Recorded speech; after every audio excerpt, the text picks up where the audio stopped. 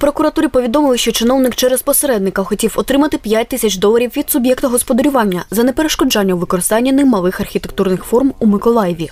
Підприємець звернувся до правоохоронних органів. Суть полягала в тому, що е, останнього закінчувався договір оренди земельної ділянки, на якому розміщувалася мала архітектурна форма. З метою е, неперешкоджання подачі діяльності та не здійснення зносу цієї малої архітектурної форми, посадова особа вимагала через посередника від е, суб'єкта цієї підприємницької діяльності неправомірну вигоду у розмірі 5 тисяч доларів. Вчора на гарячому працівниками, як я вже сказав, прокуратури та оперативного підрозділу вказану особу було затримано при передачі авансу в розмірі 1 тисячі доларів. Затриманий працював у департаменті внутрішнього фінансового контролю, нагляду та протидії корупції з червня 2017 року.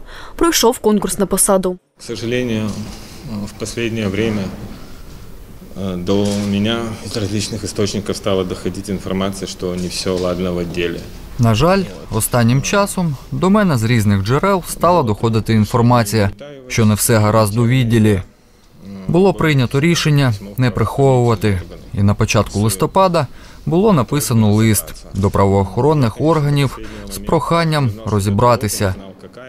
Я, звичайно, знав, що ведеться робота, не знав, яка. До останнього моменту сподівався, що інформація не підтвердиться, але, на жаль, сталося те, що сталося. Для всіх інших співробітників, не тільки департаменту, але й всієї міськради, це має стати прикладом. Ми всіляко співпрацюємо зі слідством, допомагаємо йому. Ми даємо об'єктивну картину. Даємо об'єктивну картину.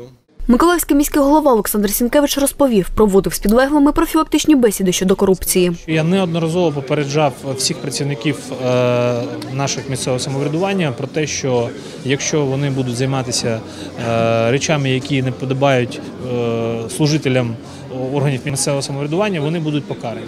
Що я хочу запевнити, що всі люди, які будуть займатися діями, які підпадають під назву корупційні, е, працювати в міськраді не будуть. І якщо вони будуть цим займатися, вони будуть правоохоронці відпрацюють по ним все, що можна. Вирішується питання про повідомлення затриманим про підозру в кримінального правопорушення. Розслідування триває. Світлана Кльосова, Артем Белібов, телевізійні новини Миколаївщини.